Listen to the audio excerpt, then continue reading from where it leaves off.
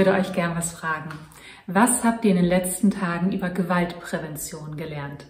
Besonders über K.O.-Tropfen, wie ihr euch verhalten sollt, wenn ihr denkt, dass euch oder jemand, den ihr seht, K.O.-Tropfen instilliert worden sind.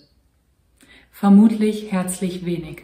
Dafür wurden wir alle mit einer brutalen, brachialen Flut an Medien, Berichten über Rammstein explizit den Frontsänger Till Lindemann überflutet.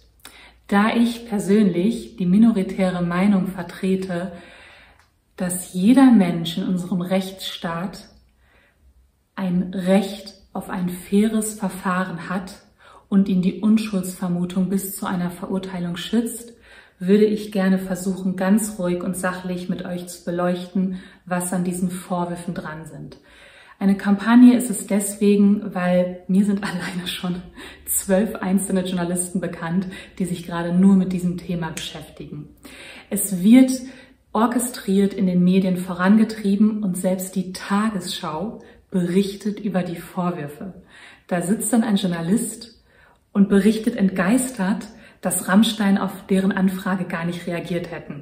Was nicht nur deren gutes Recht ist, und die Band anscheinend schon seit Jahren praktiziert und die Medien vielleicht auch sehr ärgert, sondern in dieser Situation das Beste ist, was jemand machen kann, dem so etwas vorgeworfen wird. Ich beschäftige mich schon länger mit Cancel Culture und das habe ich wirklich noch nie erlebt. Der unbedingte Vernichtungswille, die Brutalität, das Kolportieren von vorerst nur Meinungen, ich bin wirklich sprachlos. Till Lindemann weist eine unglaubliche Fallhöhe auf. Und als ich gesehen habe, dass Rammstein, ergo Till Lindemann, trendet, dachte ich erst, oh, wahrscheinlich ist er irgendwie Russland-Freund, was auch immer. Und war dann natürlich auch im ersten Augenblick super schockiert, das alles zu lesen. Was wir erleben, ist für mich wirklich gefährlich. Moralisierung soll jetzt den Rechtsstaat ersetzen. Moralisierung soll die Grundlagen unserer Demokratie aushebeln. Und es wird wirklich mit Methoden des Faschismus gearbeitet. Wenn zum Beispiel Christina Lunz, die ähm, ansonsten sehr bekannt ist für feministische Außenpolitik unter anderem, eine Petition startet, mit der sie Rammstein-Konzerte verbieten möchte, obwohl wir noch keine Verurteilung haben, dann sind das totalitäre Mechanismen. Dass jetzt zum Beispiel diese Bubble, die ich nie verstehen werde, sich daran aufhängt, dass sich Till Linnemann, was natürlich sein gutes Recht ist, sich die Medienkanzlei Scherz und Bergmann ähm, genommen hat, ist einfach nur noch bigott. Also wenn Safsan Chebli, die ganz klar Teil dieser Bubble ist, sich von Scherzbergmann vertreten lässt, ist das okay. Wenn Inisa Amani sich von Scherzbergmann vertreten lassen möchte, ist das auch okay. Aber wenn Till Lindemann oder auch Luke Mockridge damals sich von genau dem gleichen Anwalt vertreten lassen möchte, wird mit der Kontaktschuld gearbeitet und das ist ein Werkzeug des Totalitarismus. Und das sind Mechanismen, die wir betrachten müssen. Dass jemand, der sich Feministin bezeichnet, bei einer derart unfundierten Hass- und Hetzkampagne mitmacht, erschließt sich mir auch nicht. Wenn wir feministische Grundsätze anwenden, dann bedeutet das, dass die Geschlechter gleichgestellt sind. Dann dürfen sich Männer die gleichen Anwälte nehmen wie Frauen, ohne dass das dann gegen sie verwendet wird. Und dann darf auch ein Till Lindemann, genauso wie ich, oder jeder andere in diesem Land sich schützen. Und dann hat diese Person ein Anrecht auf ein faires Verfahren, zu dem es nicht kommen wird, weil die Staatsanwaltschaft in Velinus, in dem der Vorfall stattgefunden hat, in dem Ort, gar nicht ermitteln wird. Mein Video kommt übrigens deswegen so spät, weil ich tatsächlich die ganze Zeit auf eine Presseerklärung der Polizei, ergo der Staatsanwaltschaft gewartet habe die Hybris unserer Medien, dass sie sich jetzt noch zu Judikativen aufschwingen und wirklich nicht nur moralische, menschliche und ja auch juristische Urteile versuchen vorwegzunehmen, ist nur noch erschreckend. Dass die Tagesschau, die zu einer neutralen Berichterstattung verpflichtet ist, Journalisten einlädt, die eine Situation kommentieren, die aktuell nur auf Hörensagen basiert, ist wirklich gruselig. Lasst uns einfach mal schauen, was für Vorwürfe im Raum stehen. Shelby Lynn, das ist eine junge Irin, war auf einem Konzert und hat danach in den sozialen Medien Vorwürfe erhoben, die natürlich schockierend sind, weil sie hat den Verdacht, dass sie unter K.O.-Tropfen gesetzt wurde. Im gleichen Atemzug erwähnt sie aber auch, dass Till Lindemann ihr nichts getan hat und sie nicht weiß, wann, wo und wie und ob sie unter K.O.-Tropfen gesetzt wurde. Und damit hätte sich die Sache erledigt. Es gibt hier große Parallelen zur Ines Anioli Luke Mockridge Geschichte. Damals hatte Ines Anioli in ihrem Podcast Luke Mockridge nie einer V-Wort beschuldigt. Und auch Till Lindemann wurde von Shelby Lynn nicht übergriffigen Verhaltens beschuldigt. Weder einer V-Wort noch irgendwelche anderen Formen von Grenzüberschreitung hat sie ihm unterstellt. Hat aber dennoch in ihrer Story die ganze Zeit Presseberichte geteilt, in denen er wirklich als V-Wort, ich muss das so sagen, weil sonst wird mein YouTube-Video hier gesperrt, ähm, bezeichnet wird. Ich glaube, ihr wisst, welches Wort ich meine. Und das ist, ehrlich gesagt, unglaublich perfide. Und das ist genau das, was die Medien auch machen. Es werden Berichte lanciert, die ganz klar den Eindruck einer Straftat entstehen lassen, die ihn ganz klar als V-Wort dastehen lassen, nur um diese Berichte dann bigotterweise am Ende mit natürlich gilt die Unschuldsvermutung zu beenden. Das ist keine objektive Berichterstattung. Und was Shelby Linder macht, ist durchaus manipulativ. Es ist hochgradig schwierig, auf der einen Seite zu sagen, es ist gar nichts passiert und auf der anderen dann sowas zu teilen. Hinzu kommt, dass es mittlerweile drei Augenzeugen gibt, die ausgesagt haben, das kann ich euch unten verlinken, die sind aus unterschiedlichen Ländern, ich vermute mal nicht, dass die sich abgesprochen haben, die mit ihr auf der Pre- und Aftershow-Party waren. Ähm, alle sagen, sie haben extrem irritierendes Verhalten bei ihr wahrgenommen. Sie war sehr aggressiv, sehr laut, was sie ehrlich gesagt sein kann. Ähm, und sie wirkte wie jemand, der unbedingt Aufmerksamkeit möchte. Zwei dieser Augenzeugen sagen, dass sie Shelby Lynn die Aftershow-Party haben verlassen sehen. Und zwar in einem ganz gesunden, normalen Zustand. Das deckt sich ja mit ihrer eigenen Aussage, dass ihr nichts durch Till Lindemann zugefügt wurde. Dennoch ist dieser Tweet Grundlage von einer Verdachtberichterstattung, die ich so noch nie wahrgenommen habe und die wirklich besorgniserregend ist. Hinzu kommt, jetzt können wir ja mal abwägen, das spricht jetzt eher dagegen, was ich gerade genannt habe, die Aussage von ihr und die Augenzeugen, die das auch bestätigen, dass sich aber ganz viele Frauen gemeldet haben. Ich habe sehr viele Kommentare gelesen, auch von öffentlichen Profilen, wo man sicher sein konnte, die Frauen sind keine Fake-Accounts, wo wirklich sehr junge Fans von Backstage-Partys sprechen. Keine dieser Schilderungen hat jedoch die Grenze der Strafbarkeit überschritten. Es wurde von Alkohol, Spaß, auch sexuellen Handlungen gesprochen, die waren aber alle einvernehmlich. Insofern muss ich hier einfach auf die Groupie-Kultur hinweisen. Es gibt eine Groupie-Kultur, die hat sehr viel Parallelen mit Stalker, mit Stalking. Ähm, der Star wird unglaublich überhöht. Groupies nehmen enorme Kraftakte auf sich, um ihrem Star nahe zu sein. Das ultimative Ziel ist natürlich, mit dem Star intim zu werden. Vielen gelingt das ja auch und den Berichten glaube ich auch. Es ist auch nichts Neues, dass Stars ähm, Sex mit Groupies haben. Das passiert nicht nur bei Rockstars, das findet ihr auch in der Volksmusik. So, wo wird es problematisch? Problematisch wird es, wenn Grenzen überschritten werden. Können wir das immer nachvollziehen? Nein, weil viele dieser Grenzüberschreitungen finden in Graubereichen statt. Und genau deswegen ist eine sachliche Berichterstattung so wichtig. Die absolute Scheinheiligkeit ist ja, dass sich bei Rammstein an dem Fakt Anstoß genommen wird, dass sie eine Castingdirektorin hatten, die eben die Groupies rekrutiert hat oder vielleicht auch einfach organisiert hat. Da gibt es unglaublich viele junge Mädchen, die möchten die treffen, die möchten backstage gehen, freiwillig und sie haben eine Direktorin, die das organisiert. Das finde ich persönlich extrem befremdlich. Ich finde es auch extrem befremdlich, wenn Anfang 20-jährige Mädchen mit 60-jährigen Männern verkehren. Das ist meine Meinung. Aber wenn die Mädchen das freiwillig wollen, sehr, sehr viel Kraft auf sich nehmen, um Kontakt zu denen zu bekommen oder so noch, sogar noch Backstage zu gelangen, dann kann ich das nur äußerst bedauerlich finden, aber mehr auch nicht. Wenn ich junge Mädchen sehen würde, die bei wem auch immer Backstage gehen möchten, ich würde die so gerne schütteln und sagen, don't do it.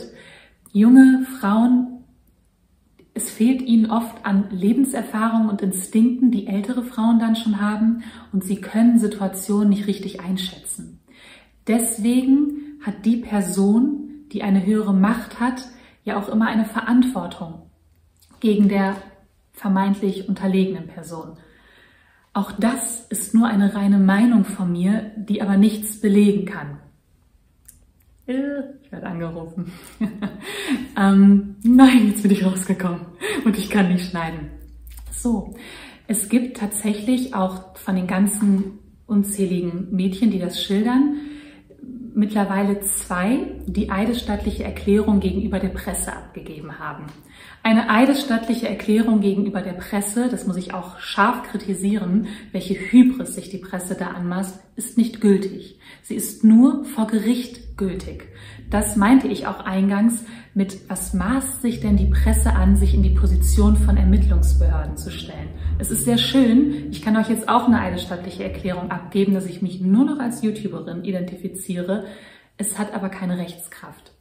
Von den vielen Berichten sind es mittlerweile noch auf eine Handvoll runtergebrochen und alle, die ich gelesen habe, schildern sehr, sehr unangenehme Grenzsituationen, aber nichts, was strafrechtlich relevant ist. Und das ist ein großes Problem in diesem gesamten Kontext. Man kann keine MeToo-Kampagne auf solchen Aussagen aufbauen. Und ich hoffe, ich irre mich, aber ich möchte euch jetzt was prognostizieren. Wenn sich weiter herausstellt, dass an den Vorwürfen gegen Till Lindemann nichts dran ist, dann war es das Ende mit MeToo. Dann wird niemand mehr betroffenen Frauen glauben, weil bestimmte Personen eine sehr, sehr wichtige Kampagne und ein wichtiges Anliegen für ihre eigenen Interessen missbraucht haben. Oder, um es in den Worten von der Ex-Freundin von Till Lindemann, von Sophia Tomalla zu sagen, die suchen ihre fünf Minuten Fame. Und leider, und deswegen bin ich auch so kritisch, weil wir das alles schon mal erlebt haben, ich habe sogar darüber berichtet, ist auch das weit verbreitet. Tragischerweise sind auch Übergriffe und Gewalt gegen Frauen weit verbreitet. Und deswegen verstehe ich die Wut der Frauen. Wir können aber nicht unser Anliegen, auf dieses Thema aufmerksam zu machen, auf Kosten von einzelnen Personen betreiben, die eventuellerweise sich niemals schuldig gemacht haben. Und selbst wenn, wir können das nicht beurteilen. Weder ich, noch irgendein anderer YouTuber, noch irgendein Demagoge auf Twitter und auch nicht die Medien. Es wird nicht ermittelt in dem Fall. Es gibt keinen Anfangsverdacht, weil ihre Aussage nicht belastend war. Warum ist daraus so ein Hurricane entstanden? Ich weiß es nicht. Hey, ich würde mich sehr freuen, wenn ihr mich, meine Arbeit, ergo meinen Kanal unterstützen würdet. Das könnt ihr tun, indem ihr Mitglieder in meinem Kanal werdet. Ihr könnt über PayPal einmalig oder regelmäßig Geld spenden oder mir auch auf meine Bankverbindung Geld überweisen. Vielen, vielen Dank. Was auch noch irritierend ist, ist die mangelnde Sachlichkeit. Ähm, jetzt hat sich mittlerweile ja ein weiteres junges Mädchen gemeldet, Kayla, die hat ein YouTube-Video veröffentlicht, was sehr lang ist, das werde ich euch auch verlinken und ihr mittlerweile über 4 Millionen Aufrufe und 100.000 neue Follower gebracht hat, was enorm ist. Kayla schildert da, wie auch sie den Backstage-Bereich betreten hat, aus freien Stücken und ihn auch aus freien Stücken wieder verlassen konnte. Dazwischen hat sie Situationen wahrgenommen, die ich persönlich auch befremdlich und verstörend finde, die aber auf Kaylas eigener Meinung basieren und die auch Till Lindemann oder Rammstein nicht belasten. Und ich möchte, wenn ihr wirklich eine Sache aus meinem Video mitnimmt, dann bitte folgende. Wenn euch irgendwas passiert, egal welche Form von Übergriffigkeit, dann wendet euch bitte sofort an die Polizei oder, Gott bewahre, wenn euch körperlicher Schaden zugefügt wurde, sofort an eine Rettungsstelle, damit das dokumentiert werden kann. Bitte geht doch nicht zu den Medien oder äußert euch Jahre später in den Medien. Das hilft niemandem. Es hilft nicht Betroffenen und vor allem, was ganz wichtig ist, wenn wir dem Thema eine echte Aufmerksamkeit widmen wollen, dass die Zahlen aus dem Dunkelfeld ins Hellfeld kommen. Und wenn man Übergriffigkeiten, schwierige Situationen, auch wenn sie nicht strafrechtlich relevant sind, nicht meldet, kann sich nichts ändern. Und wenn euer persönlicher Eindruck ist, dass ihr irgendwo seid und da sind junge Mädchen, die verhalten sich eurer Meinung, eurer Auffassung nach merkwürdig und ihr fragt euch, könnten die ähm, K.O.-Tropfen-Intus haben, könnten die zu viel getrunken haben, dann geht bitte nicht an denen vorbei und denkt euch das nur, dann sprecht die an. Das ist Gewaltprävention. Ist alles okay mit euch? Fühlt ihr euch unwohl? Möchtet ihr die Situation verlassen? Das ist eine Frage. Und auch die Polizei kann man lieber einmal zu viel als einmal zu wenig alarmieren, weil man sich um junge Mädchen Sorgen macht. Kayla berichtet in ihrem Video ganz viel Hörensagen. Sie greift ganz viel von Shelby Lynn auf und auch von Verdachtberichterstattungen, die mittlerweile zurückgezogen sind. Diese Berichte sind nicht mehr zugänglich und wir wissen deswegen nicht, ob sie stimmten. Kayla bezieht sich aber darauf. Und deswegen ist das Video für mich wirklich kritisch. Ich muss ihr auch in einer Sache widersprechen, obwohl ich ihr auf gar keinen Fall ihre Erfahrung absprechen möchte. Ich halte sie nur nicht unbedingt für zielführend in dem ganzen Diskurs. Sie sagt, sie wäre auf dieser Party gewesen wegen ihrem Pretty Privilege. Schönheit, die übrigens äußerst ähm, subjektiv ist, ist mit Sicherheit nicht der Grund, warum Kayla auf dieser Party war. Sehr viele junge Mädchen, so auch Kayla, sexualisieren sich selber und präsentieren sich enorm sexuell auf ihren sozialen Mediaprofilen, ähm, auf Konzerten, wo auch immer. Und deswegen werden sie angeschrieben. Das ist Teil einer neuen, für mich sehr verwerflichen Aufmerksamkeitsökonomie. Die jungen Mädchen bekommen die Aufmerksamkeit, die Follower und die Likes, je sexueller sie sich präsentieren. Und natürlich werden Castingdirektoren, die Groupie-Partys organisieren, diese Mädchen anschreiben. Ein junges Mädchen, was Bilder aus der Uni postet, vom Ponyhof, wird niemals von den Castingdirektoren angeschrieben und zu einer Promi-Groupie-Backstage-Party eingeladen. Und das ist auch ein Teil der Wahrheit. Bedeutet das, dass mit diesen Mädchen, die da hingehen, irgendjemand respektlos oder grenzüberschreitend umgehen darf? Nein, natürlich nicht. Ich merke aber oft, dass jungen Mädchen die Lebenserfahrung fehlt, das richtig einordnen zu können.